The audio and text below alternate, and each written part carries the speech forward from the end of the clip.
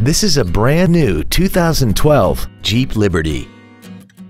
This SUV has an automatic transmission, a six-cylinder engine, and the added capability of four-wheel drive.